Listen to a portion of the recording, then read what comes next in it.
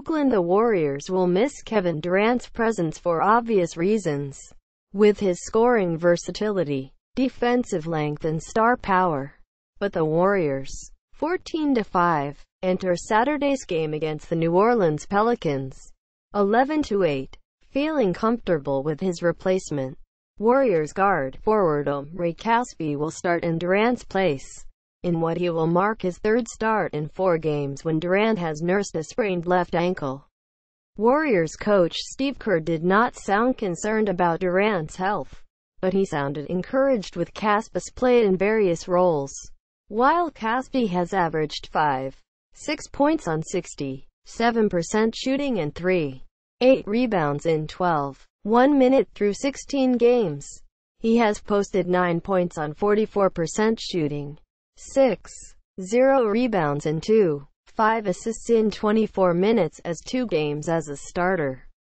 Omri impacts every player on the floor with his cutting and his intelligence. Kerr said, he makes the game easier on everybody. I think he really helps Steph, Curry, and Klay Thompson, because he's always in the right spot.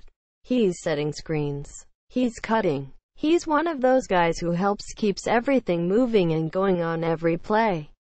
He's a wonderful player. He has been a great addition. The Warriors have also seen rookie forward Jordan Bell as a great addition. Bell, Nick Young and Kevon Looney will all likely receive increased playing time with Durant's absence, though he was a healthy scratch in four of the previous five games. Bell started for arresting resting Draymond Green on Friday against Chicago.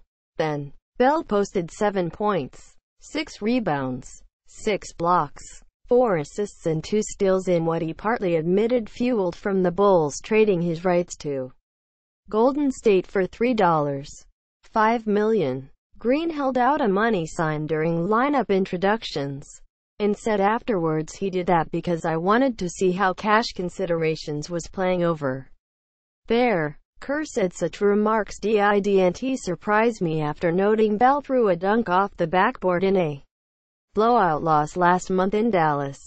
That left Kerr somewhat conflicted on Bell being what Kerr called brash. I would have preferred maybe tone it down a little bit.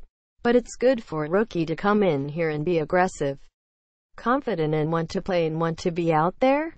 Bell said, I'm good with that, but I get a little bit hesitant when we're in a rout and the other team is obviously having a tough night. You don't want to rub it in. But I don't know if he understands that yet. That's something a 52-year-old man thinks about, and not a 20-year-old kid.